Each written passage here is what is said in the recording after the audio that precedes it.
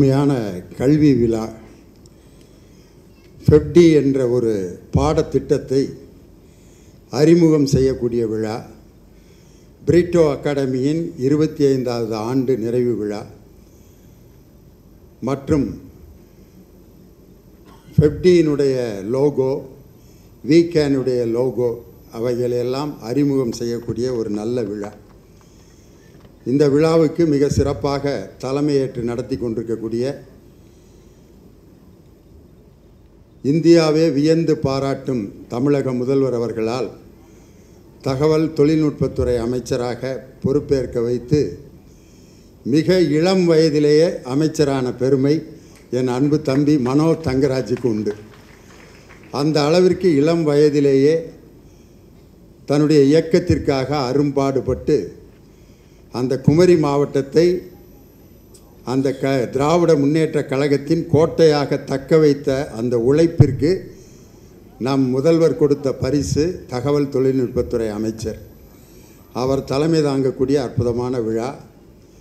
இந்த விழாவுக்கு எனக்கு முன்னால் உரையாற்றி மிக சிறப்பாக அமர்ந்திருக்கின்ற என்னுடைய வகுப்பு நண்பர். இந்த அருமையான ஆடிட்டோரியத்தை இந்த லோயலா கல்லூரிக்கு வழங்கிய ஒரு மாபெரும் கொடையாளர். நாங்கள்லாம் படித்த ஸ்கூலுக்கோ அல்லது காலேஜுக்கோ எங்களுடைய பேரைத்தான் நாங்கள் கொடுத்துருக்கோம். லியோனி ஜிடிஎன் காலேஜில் படித்தார் சென்ட் மேரிஸில் படித்தார் அப்படிங்கிற பெயர் மட்டும்தான் எங்களால் தர முடிந்தது. ஆனால் இப்படி ஒரு மாபெரும் கட்டிடத்தை கொடுத்து வாழ்நாள் முழுவதும் இந்த கல்லூரியில் பல லட்சம் மாணவர்கள் பயனடைகின்ற வகையில் சேவியர் பிரிட்டோ ஆடிட்டோரியத்தை மாண்புமிகு முதலமைச்சர் அவர்களால் திறந்து வைக்கப்பட்ட இந்த ஆடிட்டோரியம். அதே மாதிரி நாங்கள் படித்த ஸ்கூல்லையும் பிரிட்டோ ஹால் அப்படின்னு ஒரு இருபத்தஞ்சு வகுப்பறை அவரால் கட்டி கொடுக்கப்பட்டிருக்கிறது. இது மாதிரி தமிழ்நாடு முழுவதும் அவர் கால் பதித்த இடங்களிலெல்லாம் கல்வி பணி செய்து கொண்டிருக்கக்கூடிய எனது அருமை வகுப்பு தோழர் கெரி இண்டே லாஜிஸ்டிக்ஸினுடைய நிர்வாக இயக்குனர் சேவியர் பிரிட்டோ. அதற்கு அடுத்து எங்களுடைய மரியாதைக்குரிய மூத்த இயக்குனர் அப்பா. அவருக்கு எனக்கு என்ன ஒரு பெரிய தொடர்பு அப்படின்னு சொன்னால் ஒரு ஆடியோ கேசட்டில் லியோனியோட பட்டிமன்றம் தமிழ்நாடு முழுவதும் கேட்டுக்கொண்டிருந்த காலத்தில் முதன்முறையாக சென்னைக்கு என்னை அழைத்து அருமை தம்பி விஜய் அவர்கள் நடித்த செந்தூர பாண்டி என்ற படத்தின் நூறாவது நாள் விழாவில் என்னுடைய பட்டிமன்றத்தை அமைத்து முதன்முறையாக என்னை சென்னையில் பேச வைத்த பெருமை அருமை ஐயா எஸ் ஏ சந்திரசேகர் அவர்களுக்கு உண்டு. அதுவும் லியோனினா அன்னைக்கு யாருன்னே தெரியாத ஒரு ஆள் நான். ஆனால் என்னை என்னை அன்னைக்கு வீட்டுக்கு கூப்பிட்டு சண்டே அன்னைக்கு ஈஸ்டர் அன்னைக்கு நான் ஒரு வீட்டில் மதிய காலையில் டிஃபன் சாப்பிட்டு அவ்வளோ ஒரு அருமையாக கார்டியலாக இன்வைட் பண்ணி அவங்களும் சோபா மேடமும் அந்த முதல் சென்னை மேடையை எனக்கு அமைத்து கொடுத்த ஒரு மிகப்பெரிய ஒரு ரசிகர் என்னுடைய ரசிகர் எஸ். ஏ. சந்திரசேகர் ஐயா அவர்களுக்கு என்னுடைய மனமார்ந்த நன்றி வாழ்த்து. அதே மாதிரி விமலா ராணி பிரிட்டோ இவ்வளோ பெரிய வசதியான ஒரு மனிதருடைய மனைவி. அவங்க எவ்வளோ ஹாயாக இருக்கலாம் நினச்சா ஆனால் குழந்தைகளுடைய கல்வியை பற்றி சிந்தித்து ஒரு பாடத்திட்டத்தையே உருவாக்கி பிரிட்டோ அகாடமி என்ற ஒரு கல்வி குழுமத்தையும் உருவாக்கி அதை நிர்வகித்து வருகின்ற அவருடைய அன்புக்கும் பாசத்திற்கும் அனைவரும் பலத்த கரவொலி எழுப்பி விமலா ராணி பிரிட்டோ அவர்களை வாழ்த்தும்படி அன்போடு கேட்டுக்கொள்கிறேன். இவ்வளவு பெரிய விழாவில் நான் எவ்வளோ நேரம் பேசுகிறது நான் எங்கே பட்டிமன்றம் நடத்த போனாலும் இந்த கேள்வியை கேட்பேன். ஐயா நான் எவ்வளோ நேரம் பட்டிமன்றம் நடத்துறதுன்னு. ஒரு ஊரில் போய் கேட்டேன் இந்த ஊர் தலைவர் வந்தார். நீங்கள் எவ்வளோ நேரம் வேணாலும் பேசுங்க லியோனி. நாங்கள் கால் மணி நேரத்துக்கு மேலே உட்காந்துருக்க மாட்டோம் அப்படின்னு. அதுக்கு ஏன்டா என்னை திண்டுக்கல்லேருந்து கூட்டி வந்தீங்கன்னு? ஊர் முழுவதும் ஸ்பீக்கர் கட்டியிருக்கான். எல்லாம் வீட்டில் படுத்துக்கிட்டே கேட்டுக்கிட்டு இருப்பாங்க. நீங்கள் மேடை போட்டு பேசிட்டு வீட்டுக்கு போங்கங்கிறான். அவங்கெல்லாம் வீட்டில் படுத்துக்கிட்டே கேட்பாங்களாம். நான் வெறும் நாற்காலியை பார்த்து பேசிட்டு அப்படி ஒரு பேச்சு பேசுகிறதுக்கு பேசாமல் இருந்துடலாம். என்னுடைய அருமை தம்பி ஈரோடு மகேஷ் தமிழ்நாடு முழுவதும் தன்னுடைய அழகிய பேச்சாலும் அருமையான நகைச்சுவையாலும் மக்களை கவர்ந்த என்னுடைய அருமை தம்பி. அது மாதிரி வெறும் நாற்காலிகளை பார்த்து பேசுவதற்கு நாங்கள் அல்ல. ஒரு கலைஞனுக்கு மிக முக்கியமானது எது என்று சொன்னால் மேடையிலே போர்த்தப்படுகின்ற பொன்னாடையோ கொடுக்கப்படுகின்ற நினைவு பரிசோ அல்ல. ரசிகர்களின் சிரிப்பொலியும் கரவொலியும் தான் ஒரு கலைஞனுக்கு அழியாத நினைவு பரிசு. அது இப்போ பாருங்கள் நான் கேட்காமே கிடச்சிருக்கிறீங்களா? இன்னொன்று அந்த பக்கம் எலக்ட்ரானிக்கில் கைதட்டு இருக்குது அது சும்மா டுபாக்கூர். நீங்கள் கட்டுற தட்டுற கைதட்டு தான் உண்மை. நம்ம விமலா ராணி பிரிட்டோ வந்து வந்தோடனே ஒரு அருமையான மெசேஜ் சொன்னாங்க. ஒரு வழியிலிருந்து தான் ஒரு சாதனை பிறக்கும். உண்மையில அந்த வாக்கியம் என்னை ரொம்ப பாதிச்சிருச்சு. காரணம் நானும் ஒரு வழியிலிருந்து உருவானவன் தான். எங்கள் வீட்டில் பத்து பிள்ளைய அவங்க வீட்டில் எஸ்ஏசி ஐயா வீட்டில் அவங்க இது பிரிட்டோ சேவியர் பிரிட்டோ வீட்லேயும் ஏகப்பட்ட பிள்ளைய எங்கள் அப்பாவும் அவங்க அப்பாவும் ரொம்ப சமுதாயத்துக்கு அருமையான சேவை செஞ்சுருக்காங்க. குடும்ப கட்டுப்பாடை பற்றி கவலையே பல்ல அவங்க. குடும்ப கட்டுப்பாடுங்கிற அந்த சிஸ்டத்தை சட்டத்தை மீறினதுனால பிறந்தவன் தான் லியோனி. இரண்டே பெருக ஒளிமயமாய் வாழ்க அப்படின்னு எழுதி எழுதி போட்டிருந்தாங்க எங்கள் வீட்டு முன்னாடி. எங்கள் அப்பா ரெண்டோட நிறுத்தியிருந்தால் நான் மூணாவது பிள்ளையாக பிறந்திருக்க முடியாது. அப்படி பார்த்தா பிரிட்டோவை நீங்கள் என்ன யோசனை பண்ணி பாருங்கள் அந்த குடும்ப கட்டுப்பாடுங்கிற சட்டத்தை மதிக்காத நபர்கள் யாருன்னா எங்கள் அப்பாவும் பிரிட்டோவோட அப்பாவும். அதில் எங்கள் வரிசையாக மூணு ஆம்பளை பிள்ளைய பிறந்தோன்னே எனக்கு அடுத்து ஒரு பொம்பளை பிள்ளை பிறந்துச்சு. அவ்வளோதான் எங்கள் அப்பா அந்த பொம்பளை பிள்ளை மேலேயே தான் கவனம் பூரா பாவாடை ஜாக்கெட்டு பவுட்ரு அந்த பிள்ளைக்கே தான் வாங்கி கொடுத்துக்கிட்டு இருந்தார். எனக்கெல்லாம் வருஷத்துக்கு கிறிஸ்மஸ்க்கு கிறிஸ்மஸ்க்கு ஒரு டவுசர் எடுத்து கொடுப்பாரு. அப்போ எங்கள் அப்பா சொல்லுவார் எப்பா என்னப்பா அந்த பிள்ளையவே கவனிச்சிட்டு இருக்கீங்க? நான் ஒரு பிள்ளை இருக்கேன்னு தெரியாதான். அந்த பொ- பெண் குழந்தையவே கவனித்ததனுடைய விளைவு நான் நெக்லெக்டட் சைல்டு ஆகிட்டேன் ஓரங்கட்டப்பட்ட குழந்தை. அந்த ஓரங்கட்டப்பட்ட குழந்தையாக நான் இருந்ததுனால என்னுடைய ப்ரெசன்ஸை காட்டிக்கிட்டே இருக்கணுங்கிறதுக்காக வெவ்வேறு குரலில் பேசுகிறது வெவ்வேறு மாதிரி ஆக்ட் பண்ணுறது எங்கள் அப்பா அம்மாவும் சண்டை போடுற மாதிரி பெர்ஃபார்மன்ஸ் காட்டுறது. இந்த மாதிரிலாம் பண்ணி பண்ணி நான் இருக்கிற கூட்டத்தை கூட்டத்தில் நம்ம தனியாக தெரியணும்டா அப்படிங்கிறதுக்காக வேண்டி என்னுடைய திறமையை நான் வளர்த்து கொண்டேன். வீட்டிலே நான் பொம்பளை பிள்ளை காரணமாக ஓரங்கட்டப்பட்ட அந்த வலி தான் லியோனி இன்னைக்கு உருவாக்கியிருக்கு. இன்றைக்கி வந்து அந்த மாடர்ன் அந்த சோஷியல் மீடியாவை குழந்தைகளுக்கு எப்படி பயன்படுத்துறது? இப்போ ஒரு ரெண்டு வருஷமாக ஆன்லைனில் தான் பயிருங்கெல்லாம் எல்லாம் படித்தானுங்க என் பேர பிள்ளைய ஆன்லைனில் உட்காந்து படித்த அந்த கொடுமையை நான் பார்த்தேன். பரிதாபமாக இருக்கும். அந்த மிஸ்ஸு அனாதையாக பாடிக்கிட்டே பேசிகிட்டு இருப்பாங்க. அவங்கள உண்மையிலே வாழ்க்கையில் இந்த மாதிரி ஒரு கொடுமை உலகத்தில் வேறு யாருக்குமே அமைய முடியாது. யாருமே கேட்காம தனியாக ஒரு கேமராவை பார்த்து எவ்வளோ நேரம் பேசுகிறது அதே மாதிரி அந்த ஒரு கிளாஸ் நடந்துகிட்ருக்கு ஃபஸ்ட் ஸ்டாண்டர்ட் கிளாஸு மிஸ்ஸு நடத்திக்கிட்டு இருக்காங்க. ஏதோ ஒரு ரைம் நடத்திக்கிட்டு இருக்காங்க. நான் பக்கத்து ரூமில் உட்காந்து பேர பிள்ளைய ரொம்ப அருமையாக கேட்டுக்கிட்டு இருக்காங்க கிளாஸ் அப்படின்னு நினச்சா திடீர்னு வாய்ஸ் வேறு மாதிரி மாறிச்சு மிஸ்ஸோட வாய்ஸ் மிஸ் சொல்லி கொடுத்துருக்கேன் I am going to teach you the rhyme come on say the children come on say pen me அப்படின்னு சொன்னாங்க. திடீர்னு பார்த்தா டேய் பட்லு என்னடா சமோசா விட்டுட்டு நீ என்னை விட்டுட்டு தின்னுக்கிட்டு இருக்க? இல்லைடா மோட்டு. நான் வந்து உடனே விட்டுட்டு நான் சாப்பிடுவேனா? என்னடா அப்படி பேசிட்டு இருக்க? டேய் பட்லு இந்த ஜான் பையன் நம்மளை ஏமாத்திட்டு என்னடா அது? ரைம் கேட்டுட்டு இருந்துச்சு. திடீர்னு பார்த்தா மோட்டு பொட்டில் ஓடிக்கிட்டு இருக்குன்னு பார்த்தா டிவியில் மாற்றி விட்டானுங்க. மோட்டு பொட்டில் சீரியல் ஓடிக்கிட்டு இருக்கு. என் பேரை மாற்றி விட்டு அதை உட்காந்து ஜாலியாக கேட்டுக்கிட்டு இருக்கேன். அந்த டீச்சர் நடத்தின அந்த பாடம் பிடிக்கல மோட்டு பொட்டில் பிடிக்குது. ஒரு ஒரு வாரம் கழிச்சு டே இனிமேல் இந்த மாதிரிலாம் பண்ண பார்த்துக்க. அப்படின்னு மிரட்டிட்டு போயிட்டேன்.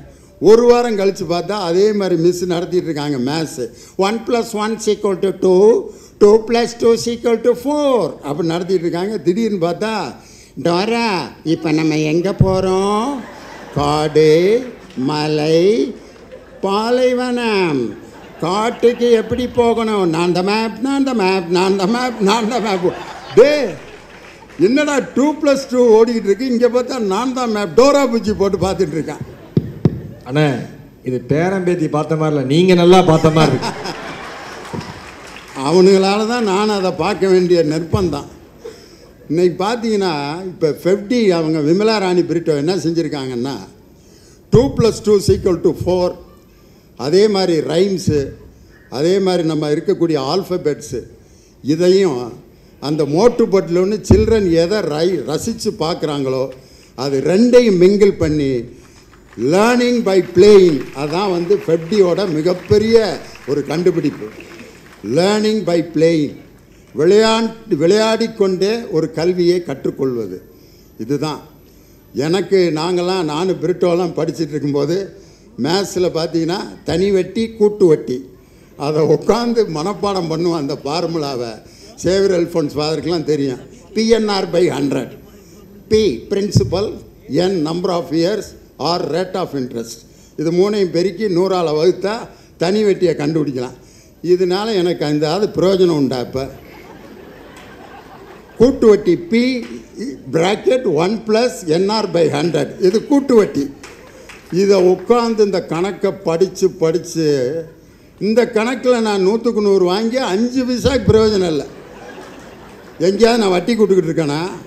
இல்லை யாராவது எனக்கு வட்டி கொண்டு வந்து கொடுக்குறானா?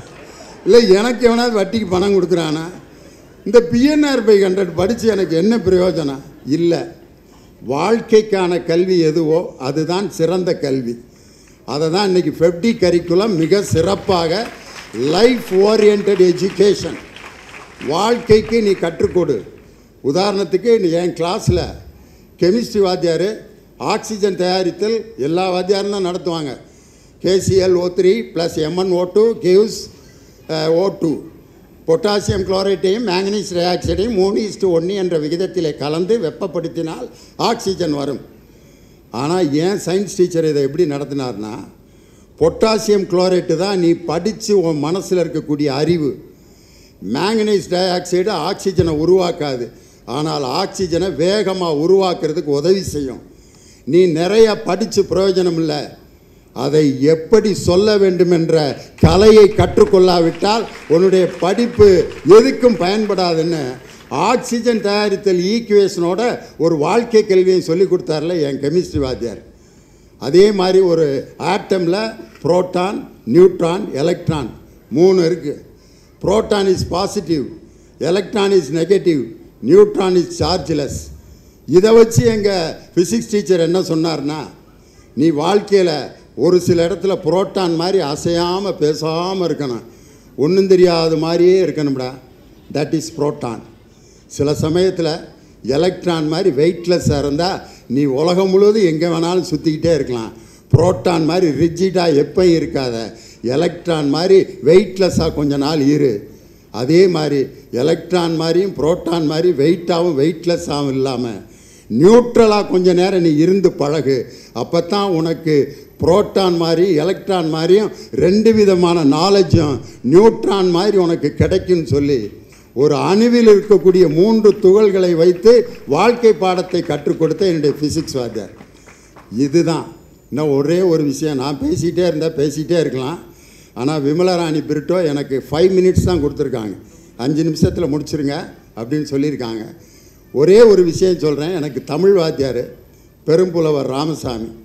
அவர் வந்து எனக்கு எப்படி பாடம் நடத்தினார்னா நைன்த்து தமிழில் பேரறிஞர் அண்ணாவினுடைய பட்டமளிப்பு விழா பேருரை அப்படின்னு தமிழில் முதல் பாடம். அந்த பாடத்தை எல்லா தமிழ் வாத்தியாரும் எப்படி நடத்தியிருப்பாங்க?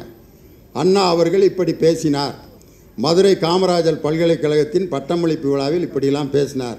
முதல் கேள்வி அண்ணா பேசியதில் அவர் ஒரு அறிஞரின் கருத்தை கூறியிருப்பார். அந்த கருத்து என்ன? அப்படின்னு கொஸ்டினில் கேட்பாங்க எழுதுவான். இல்லை. ஆனால் என் தமிழாசிரியர் அதை எப்படி நடத்தினார்னா அண்ணாவினுடைய குரல்லையே அந்த பாடத்தை நடத்தினார். அந்த பாடம் முழுவதும் அண்ணா பேசுகிற மாதிரியே வாசித்து காமிச்சார். ஆய்ந்தறிதல் வேண்டும். அதற்கேற்ற அஞ்சாமை வேண்டும். இன்றைய சிந்தனையை சிறைப்படுத்திவிட்டு கொடுமையை கோலோச்ச செய்வதற்கு உடந்தையாகி விடுவோம். பட்டம் பெற்றிடுகின்றீர். பாராட்டுக்குரியீர். பட்டம் எதற்கு காட்டி கழித்திடவா? அன்றி பணி செய்திட கிடைத்திட்ட ஆணை என கொண்டிடவா?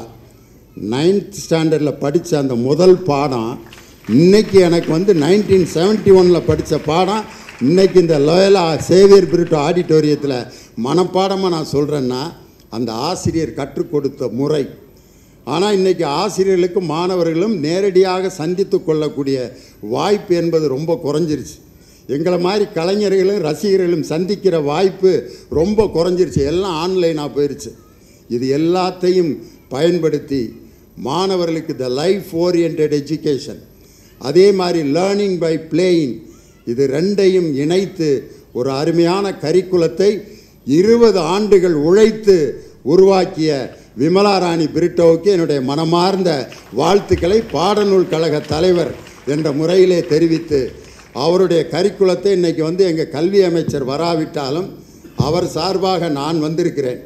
அதனால் இந்த கரிக்குலத்தை இந்த பாடத்திட்டத்தை தமிழகத்தில் ஏதாவது ஒரு பகுதியில் முதலில் அதை பரீட்சார்த்தமாக செயல்படுத்தி காட்டி அந்த பாடத்திட்டத்தில் எங்கள் பாடத்திட்டத்திற்குள் அதை கொண்டு வருவதற்கு மாண்புமிகு முதல்வர் அவர்களும் பள்ளிக்கல்வித்துறை அமைச்சர் மூலமாகவும் தகவல் தொழில்நுட்ப அமைச்சர் மூலமாகவும் அந்த முயற்சியை எடுப்போம் என்ற உறுதியை இந்த நேரத்தில் சொல்லி அவர்களுடைய கல்வி பணி மென்மேலும் சிறக்க வாழ்த்தி வணங்கி என்னுடைய அருமை குழந்தைகள் மிச்சல் விமலா ரெண்டு பேருக்கும் என்னுடைய வாழ்த்துக்களை சொல்லி விடைபெறுகிறேன். நன்றி வணக்கம். விழாவுக்கு தலைமை தாங்கி கொண்டிருக்கின்ற மாண்புமிகு ஐடி அமைச்சர்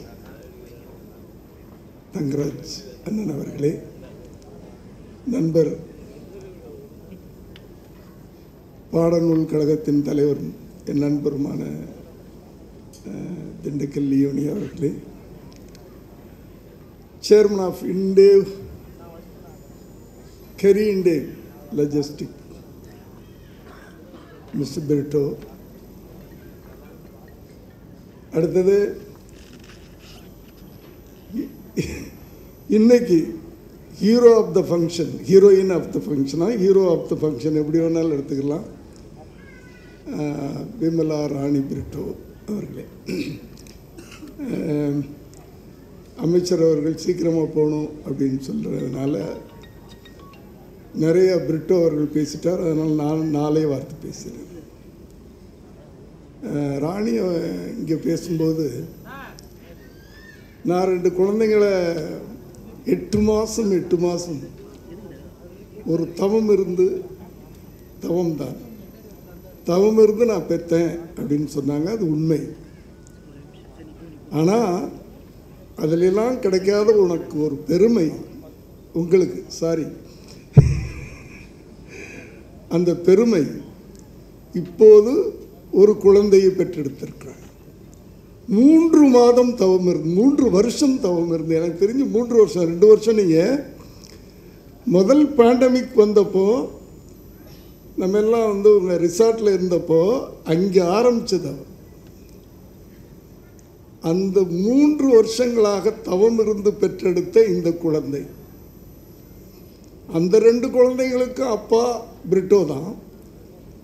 இந்த குழந்தைக்கு அப்பா பிரிட்டோ தான். ஏன்னா அவர் என்கரேஜ் பண்ணலைன்னா